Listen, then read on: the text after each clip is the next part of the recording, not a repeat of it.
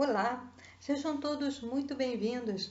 Eu sou Bianca de Araújo Laureano e esse é seu canal Justiça em Foco Notícias. Estivemos aí alguns dias afastados, galera, por problemas aí pessoais, mas Vamos respirar fundo e continuar com o nosso trabalho, né? Mesmo, meu amigo, minha amiga, eu quero dar as boas-vindas a você que se inscreveu no canal Justiça em Foco Notícias e convidar você que chegou até aqui esse vídeo, a este conteúdo, a se inscrever no canal Justiça em Foco Notícias. E hoje nós vamos falar sobre Gabriel Monteiro. Vamos atualizar a playlist. Vou deixar o card aqui para vocês estarem maratonando todas as informações sobre a história do nobre vereador que está enrolado em vários tipos de acusações, pessoal. Mas vamos atualizar o caso do Gabriel Monteiro.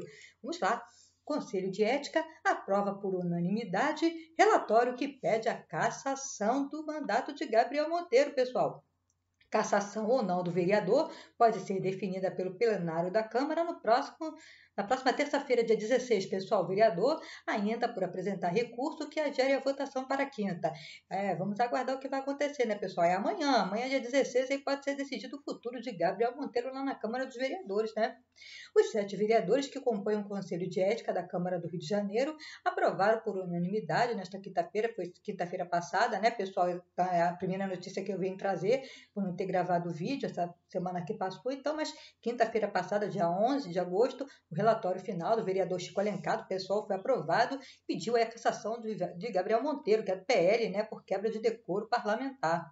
O ex-policial militar e youtuber é investigado em acusações aí de crimes contra a dignidade sexual. A gente não pode dizer o nome aqui, como eu sempre falo, né, pessoal? Mas você que acompanha o canal Justiça em Foco Notícias sabe do que representa, né, pessoal? Assédio e forjar aí vídeos para a internet. Após a votação, membros do Conselho de Ética falaram com a imprensa sobre a decisão. O vereador Chico Alencar, relator do caso, disse que a decisão acontecia em um dia simbólico. O dia de hoje é simbólico, porque não é mais o meu relatório, mas do Conselho de Ética da Câmara dos Vereadores, e acontece um dia simbólico para a democracia. Foi o dia da leitura da Carta para o povo brasileiro, né, pessoal? O parlamentar tem o dever de elementar de se, compor, de se se comportar, perdão, pessoal, de se comportar com elevação moral dentro da, e fora da casa. Ninguém tem intenção de perseguir um colega, né? Está dizendo que a questão aí é o comportamento de Gabriel Monteiro, que a intenção no Conselho de Ética não é perseguir aí o, o nobre vereador, né, pessoal? Entendo o que acontece agora. Com a aprovação do Conselho de Ética, o caso Gabriel Monteiro vai para o plenário da Câmara para ser votado na próxima terça-feira, amanhã, dia 16 de agosto, pessoal. Vamos lá. Os vereadores é que decidirão se o ex-policial será considerado inocente ou culpado da acusação de quebra de decoro e, se for culpado, qual será a sua punição. A votação no plenário será aberta e com direito à fala dos parlamentares e da defesa durante a sessão mas apenas 50 vereadores poderão votar, já que Carlos Bolsonaro pediu licença do cargo para tratar de assuntos particulares. Para caçar o mandato de Gabriel Monteiro, são necessários 34 votos. Já para aprovar uma possível suspensão do mandato, será preciso formar maioria absoluta, ou seja, 26 votos dos 50 possíveis. Recurso do vereador pode atrasar a votação. A defesa de Gabriel Monteiro disse que vai recorrer à Comissão de Justiça e Redação da Câmara. A defesa não vai desistir. Nós iremos esgotar todos os recursos cabíveis, porque é um direito parlamentar. É um direito da defesa esgotar a via recursal, disse Sandro Figueiro, advogado de Gabriel Monteiro. Se a defesa realmente apresentar recurso, ganhará tempo antes da votação no plenário. O relatório seria analisado por todos os vereadores na próxima terça-feira. Amanhã, né, pessoal? Mas a defesa tem até segunda-feira, até o presente momento, ainda não foi apresentada aí, né, pessoal, esse recurso. Vamos aguardar até o fim do dia, né? Pode acontecer que ainda hoje eles apresentem recurso aí na Comissão de Justiça. Vamos lá. O regimento da Câmara prevê que a convocação da comissão precisa ser feita com 48 horas de antecedência. Assim, mesmo que a comissão rejeite o recurso, a votação sobre a manutenção ou cassação do mandato de Gabriel Monteiro só poderá ocorrer a partir da próxima quinta-feira, dia 18. Atos inquestionavelmente graves. O relatório final cita que os atos praticados por Monteiro são inquestionavelmente graves e que o exercício do mandato público é de respeito à dignidade, sobretudo dos mais vulneráveis, e não postura de manipulação, arrogância e mandonismo. Chico Alencar afirmou em seu relatório que os fatos narrados na denúncia, como edição e manipulação de vídeos, violações do Instituto da, do Estatuto da Criança e do Adolescente, o ECA, né, pessoal, incluindo crimes sexuais, agressões e intimidações praticadas aí pelo parlamentar contra ex-assessores e cidadãos, entre outros, constituem motivos para a cassação do vereador. Gabriel pedia arquivamento. Antes da votação desta quinta-feira, o vereador Gabriel Monteiro teve a chance de incluir no processo suas alegações finais sobre as acusações feitas no documento produzido por Chico Alencar.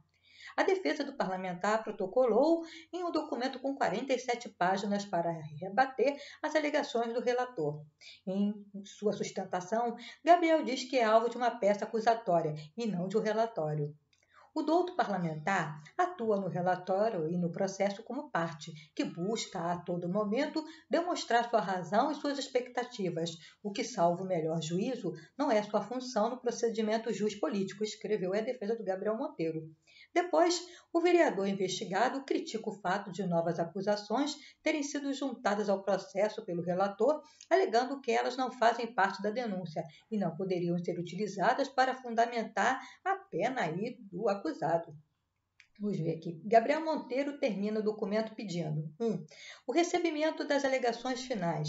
2. Feitura de novo relatório por parte do relator, devolvendo-se à defesa o prazo para novas alegações, visto que é naquele documento acusações que não foram instruídas no presente processo, impossibilitando a plena atuação defensiva que seja deferida a presença dos advogados de defesa e do próprio parlamentar nas discussões finais do colendo Conselho de Ética.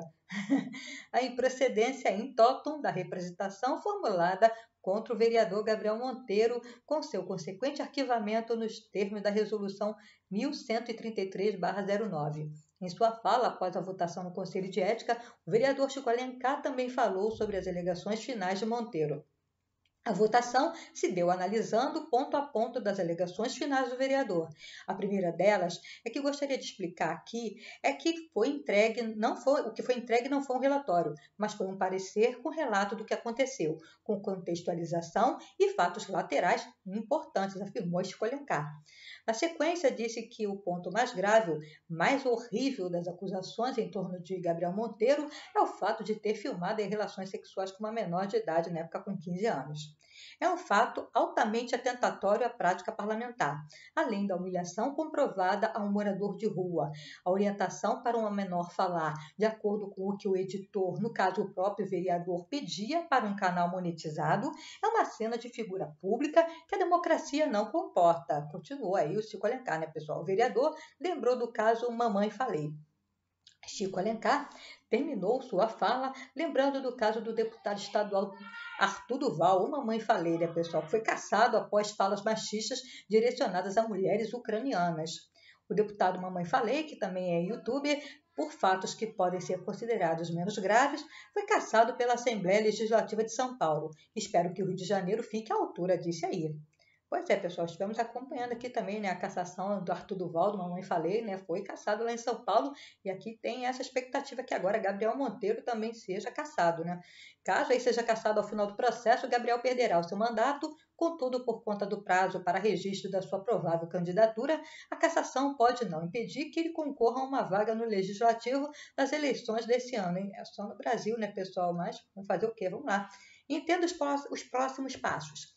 Após a decisão do Conselho de Ética sobre o relatório final produzido por Chico Alencar, com a recomendação pela cassação, o caso agora vai para a mesa diretora da Câmara para ser incluído como projeto de resolução na ordem do dia seguinte à reunião. Ou seja, o plenário da Câmara decidirá na próxima terça-feira, amanhã, dia 16, pessoal, se Gabriel Monteiro será considerado inocente ou culpado da acusação de quebra de decoro e, se for culpado, qual será a sua punição.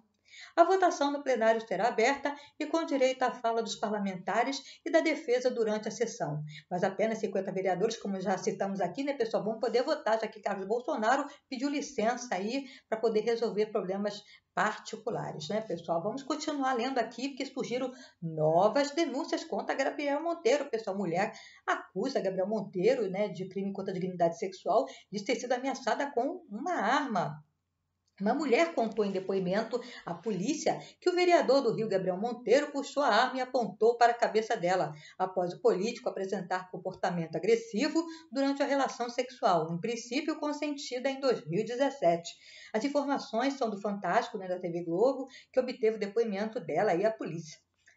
Segundo a reportagem, a nova vítima, que não teve sua identidade revelada, foi à delegacia e registrou o boletim de ocorrência. O registro hoje em dia, né, pessoal, está aqui na, no site, mas hoje em dia não se fala mais boletim de ocorrência, é registro de ocorrência, tá? Mas vamos lá, vamos continuar aqui. No início do mês, depois que denúncias já haviam sido feitas por outras mulheres. Aí estão começando a aparecer mais pessoas, né, pessoal? Enfim, a polícia, a, a polícia, ela contou que saiu de uma casa noturna com Gabriel Monteiro no dia 14 de maio de 2017. Na sequência, os dois entraram no carro, começaram a se beijar e poucos minutos depois o vereador começou a demonstrar um comportamento agressivo. A vítima diz que o parlamentar começou a dar tapas no rosto e socos na costela durante a relação sexual e que ele ignorou o pedido para usar camisinha. Ela afirmou à polícia que pediu que o político parasse e que naquele momento ele pegou uma arma e apontou para a cabeça dela. A mulher afirma que, sem o consentimento, Monteiro começou a filmá-la durante o ato sexual e mandar para o WhatsApp. No dia seguinte, ela foi ao hospital e recebeu o diagnóstico de violência sexual. Tudo bem, né, que a galera, a gente está lendo aqui Sabemos que não, não foi no exercício do, do, mandato dele de vereador, mas fala muito sobre a personalidade de Gabriel Monteiro, tá, pessoal? Isso ocorreu em 2017, ele não era vereador ainda, mas fala muito sobre a personalidade dele, tá? Então, isso é importante, estamos lendo aí, está atualizando na playlist, porque não tem nada a ver com o exercício dele como vereador, mas fala muito sobre a personalidade do Gabriel Monteiro, né? Infelizmente. Na semana passada, o Conselho de Ética e Decoro Parlamentar da Câmara Municipal do Rio de Janeiro aprovou por unanimidade aí, o relatório que pede a cassação de Gabriel Monteiro, pessoal. Ao menos três assessores de Gabriel Monteiro relataram que o vereador praticava aí relações sexuais com menores de idade na presença dos seus funcionários. Já fizemos vídeo falando a respeito desse assunto, né, dos adolescentes, e pedia para os adolescentes mostrarem os seios para os, os assessores, né, pessoas declarações, consta no relatório aí do Chico Alencar, o relatório final que pede a cassação de Gabriel Monteiro. E vamos ler aqui, pessoal, que ex-assessor também disse em depoimento que Gabriel Monteiro encontrou menor com quem filmou relação sexual em horário do recreio dela, pessoal. Aquela adolescente que aparece aí com Gabriel Monteiro em cenas de relação íntima é, estava em horário escolar, né? Acusados de quebra de decoro pelo Conselho de Ética Parlamentar, terá seu futuro na Câmara dos Vereadores decidido né, nesta quinta-feira. Bom, está meio desencontrado, né? Estão falando amanhã, estão falando quinta, mas entre amanhã e quinta-feira vai ser resolvida a situação de Gabriel Monteiro, né, pessoal? Vamos lá li aqui para vocês. O ex-assessor e editor de vídeos do vereador Gabriel Monteiro, Bateu Souza de Oliveira, disse em depoimento ao Conselho de Ética da Câmara que o parlamentar chegou a encontrar a jovem com quem filmou as relações sexuais na escola em que ela estuda, durante o recreio, né, pessoal, o horário de, de intervalo né, dos jovens lá na escola. O site aqui teve acesso à fala de ex-funcionários divulgadas no relatório da comissão que aprovou por unanimidade o pedido de cassação do mandato do ex-PM. A decisão final será tomada no plenário da Câmara na quinta-feira, dia 18. Aqui já está dizendo que é dia 18, né, pessoal? É, eu peguei uma notícia mais atualizada, pode ser que haja alguma mudança aí de dia, tá? Vamos lá. Era uma escola particular, inclusive a gente já foi algumas vezes, porque o recreio dela, no, o colégio é vizinho a um centro comercial e Gabriel cortava o cabelo lá. A gente estava passando lá e ele viu a garota. A garota ficou até meio sem graça e ele virou para, as, para os amiguinhos e falou: Aquela lá, minha namorada, aquela lá, minha namorada. Aí a adolescente até pediu desculpas depois por não ter falado com ele, porque não queria que os demais soubessem, contou assessores. Segundo Oliveira, o vereador se gabava por relacionamentos com menores e os considerava um grande feito. Algumas delas iriam até de uniforme lá, iam de uniforme. O próprio Gabriel mostrava para a gente que as garotas eram bem novas. Inclusive, tratava isso como um grande feito na vida dele, porque falava que a gente não conseguia fazer aquilo ali nunca, né? ou seja, namorar adolescentes. Né? Luiz Caroline Bezerra Batista, que também trabalhava na equipe de edição de vídeo parlamentar revelou que a menor estava constantemente na casa do vereador. É, ele tratava ela como namoradinha dele, mas todo mundo sabia que era errado, que ela era menor de idade e que ele, além de ser maior de idade, é um parlamentar e não podia estar com essa conduta, comentou ela. Galinha Pintadinha. A editora revelou que outro funcionário chegava a brincar com a situação colocando a música Galinha Pintadinha, tema do desenho infantil, sempre que a menor chegava à residência de Gabriel Monteiro. Eu tenho foto com ela. Ela frequentava a casa do Gabriel sempre, sempre frequentou. Tanto é que às vezes ela chegava no estúdio onde a gente estava fazendo reunião, porque Gabriel e ele juntava todo mundo para querer ideia para vídeo. Ele queria ideia de vídeo, mas na lógica dele, daí ele chegava e o Rick Dantas colocava até a música da galinha pintadinha quando chegava, né, menina, né, para ela quando ela chegava lá, pessoal, porque ela era menor de idade, ela era uma criança. Ele dizia isso, não sou eu que estou falando, lembrou durante o depoimento. O relacionamento de Gabriel Monteiro com a menor de idade foi objeto de inquérito policial na 42ª Delegacia de Polícia do Recreio dos Bandeirantes, que resultou sem indiciamento por crimes sexuais, previsto no Estatuto da Criança e do Adolescente. Na sequência, também o vereador se tornou réu criminal por ter tido relações sexuais com adolescentes com quem também teria filmado relações e tinha um material né, guardado. Segundo a Câmara dos Vereadores, os advogados do vereador entraram com recurso da decisão da Comissão de Justiça e Redação, quando também expira o prazo para que ele conteste decisão no Conselho. A expectativa é que esse pedido seja analisado e julgado em reunião na próxima quarta-feira. Então, por isso que foi, pessoal, aí é, mudado para Quinta-feira, a votação. O que vocês acham deste caso, Gabriel Monteiro? Deixe seu comentário, deixe o seu like. O seu like é extremamente importante para que o YouTube venha reconhecer que os nossos conteúdos contêm relevância e os recomende para mais e mais pessoas. Quero agradecer aí a sua compreensão. Hoje o vídeo foi um pouquinho complicado de gravar, foi uma semana muito difícil para mim, então é, vou ter que pegar o ritmo de novo, né, galera? Então desculpe aí qualquer errinho, desculpe aí é, se não ficou tão bem gravado, mas estamos juntos aí, pessoal.